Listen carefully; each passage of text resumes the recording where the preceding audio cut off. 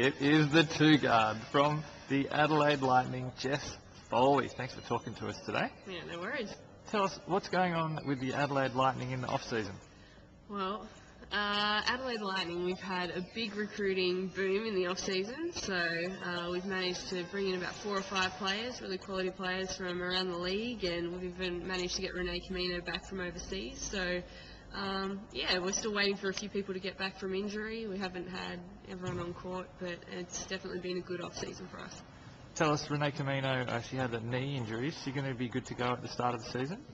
I think probably not in the first couple of games, but hopefully um, a few games in she'll be back and in full force. So she looks good running around and jumping, so yeah, she's getting there. And tell us about some of the other players that you got in the team as well.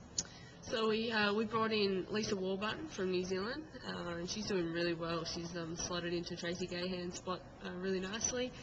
Uh, Shelley Burston has come in, Nikki Martin, uh, Kelsey Island from the Institute, uh, and then we've retained about four or five players from last year and, and brought in a couple of locals. So, um, yeah, we're really happy with the blend and, and all of the personalities we've got coming together at, at, in Adelaide at the moment. Shelley Burston, who is that? I've never even heard of her. Shelley Hammonds. Ah, Shelley Hammonds, of course. And how's she? She hurt her knee at the end of last season. How, what sort of shape is she in? So she's in great shape. She's really working hard to get back, and, and hopefully we'll have her on court soon. Nice. And you're rocking a bit of a different uniform this year, a little bit redder. So bright. It's nice, isn't it? It is. Pops, I something like it. Something different, something different, but Uh, um, yeah, won't miss us, that's for sure. You've been wearing a different coloured uniform in the off season, a little bit of green and gold for you. How was your time with the Australian Opals program? Oh, that was great. Um, you know, I've, I've been in the squad a few times and never really had much opportunity um, to get out there. So to get five games in with the Opals um, was definitely a really big thing for me. And, and coming back off, a, off another ankle injury, um, I was just really happy to be out there because you know there was a lot of girls injured this year, and and uh, you know you don't get too many opportunities to play for the green and gold uh, in your home country. So I was yeah really proud to be out there.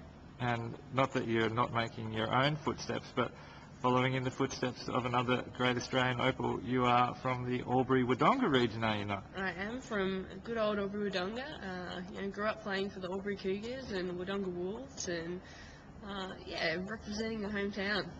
Nice. That, of course, the area that the great Lauren Jackson was from. Now, she's not in the league this year. Who do you think is going to be the most valuable player in the league?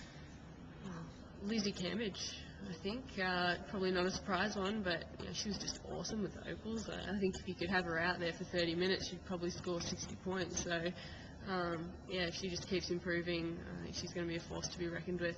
I think you might be right. Who's going to go up against her from Adelaide? Kayla Francis will be uh, one of your centres, I'm sure. Yeah, I think uh, Kayla uh, will definitely probably be our, our biggest uh, big this year. So um, she'll get some time on her, and I think with any player like that, uh, you can't just have one player trying to contain them. So uh, with her and Elise uh, at Boleyn, we'll definitely need to share the load and, and help out.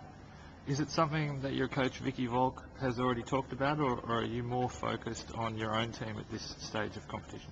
Uh, we're definitely focused on what we're doing at the moment. I mean, we have Sydney coming up first game, and I'm sure we'll look at them a little bit closer to the game time later this week. But at the moment, everything's about us and, and just getting our fitness up and and trying to you know learn how each other play. You know, we've got a lot of new players, and you just need to have time together on court and, and work out what combinations are good and and what's going to work for us.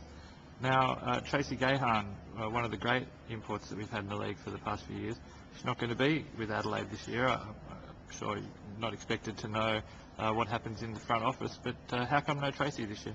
Oh, look, we tried to make her Australian and, and keep her here for good. We would have kept her as long as we could, but, um, you know, I mean, she's a quality player and she got a great offer in Europe uh, that was hard to turn down, so uh, she'll be a huge miss for us and uh, we hope that she plays well over there, but if she ever wants to come back, Tracy, come on home. Come on home and bring your double-double form with you. Yeah. Now, it's been a bit of an interesting day today. We've got uh, the launch later today, and uh, we're doing a little bit of stuff with the ABC and also taking uh, some photographs. Mhm. How do you like being in front of the camera? Oh, you know, it's not my most comfortable position, but uh, it's all for good, good fun for the league, and if it gives us some exposure, then it's worth it. Jess, it was lovely to talk to you today, and we wish you all the best for the season and for the Adelaide Lightning. Thank you very much.